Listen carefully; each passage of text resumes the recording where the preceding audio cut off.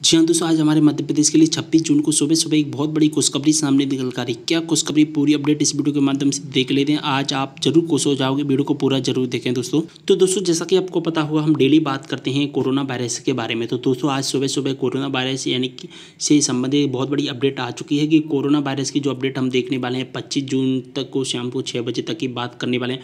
और दोस्तों, एक अपडेट आपको बता देता हूँ कि आज हमारे मध्य प्रदेश के तीस ऐसे ज़िले हैं जहाँ पर कोरोना के कोई भी एक भी पेशेंट नहीं मिला है। तो दोस्तों, हमारे लिए बहुत बड़ी खुशखबरी है।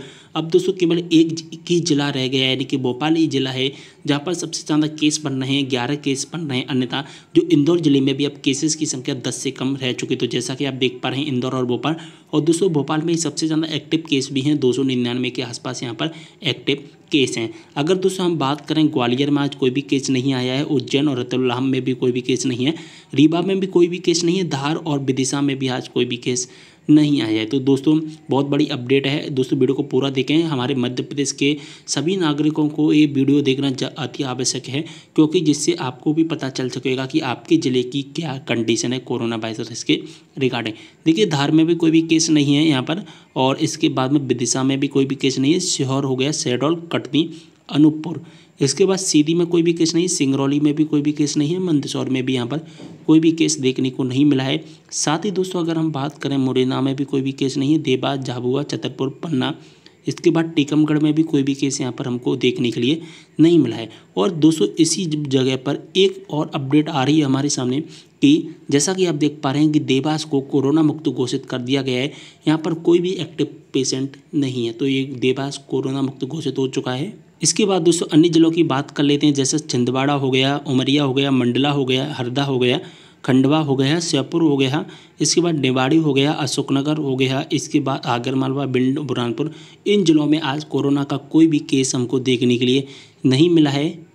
अगर दोस्तों हम यहाँ पर बात करें दोस्तों मंडला ज़िले की तो दोस्तों मंडला ज़िले को कोरोना मुक्त घोषित कर दिया गया है, क्योंकि यहाँ पर कोई भी एक्टिव पेशेंट नहीं है। साथ ही दोस्तों साथ ही दोस्तों खंडवा को भी यहाँ पर कोरोना मुक्त घोषित कर दिया गया है, और साथ ही दोस्तों यहाँ पर एक ज़िला और है बुरहानपुर। इस बुरहानपुर ज़िले को भी कोरोना मुक्त घोषित कर दिया गया है, क्योंकि यहाँ पर कोई भी एक्टिव पेशेंट नहीं है। इसके बाद दोस्तों हम बात कर लेते हैं आज की क्या कंडीशन रही है।